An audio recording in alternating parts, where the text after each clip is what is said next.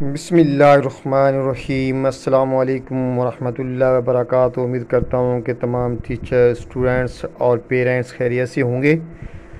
Students آج کی دو اہم اپڈیٹس جو میں آپ لوگوں کے ساتھ شیئر کرنے والا ہوں، بہت ہی اہم اپڈیٹس پہلی اپڈیٹ تو یہ ہے کہ سلیبس کا جس طرح میں نے تصویر میں اوپر لگایا ہوا ہے سلیبس کا تصور ختم۔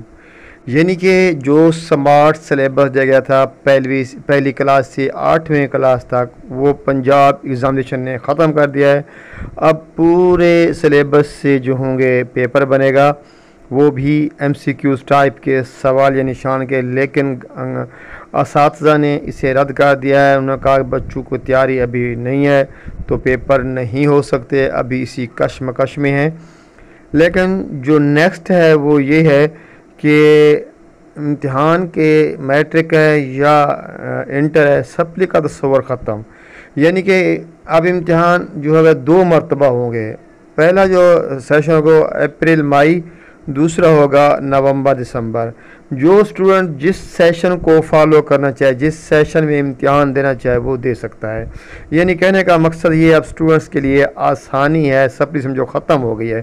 کیونکہ پہلے جو سپلی ہوتی تھی، اس کا صرف ٹائم دیا جاتا تھا، ایک آدھا گھنٹے مطلب مہینہ، بتیس دن ہوتے تھے۔ لیکن اب وہ تصور ختم کر دیا گیا ہے۔ تو اسٹوڈنٹس یہ جو ہے سلسلہ جو ہے، امتحان کا، یہ پتہ نہیں ہے، ابھی میں نے آپ کو پہلے بتایا پچھلی ویڈیو میں۔ گورنمنٹ یو ٹرن لیتی ہے، پتہ نہیں چلتا تو آپ اپنی تیاری جاری رکھیں۔ ہو سکتا ہے پھر کل کوئی نیا فیصلہ ہو جائے۔ ابھی تک جو نیو اپڈیٹس میرے پاس آئی ہیں، وہ میں آپ لوگوں کے ساتھ شیئر کر رہا ہوں۔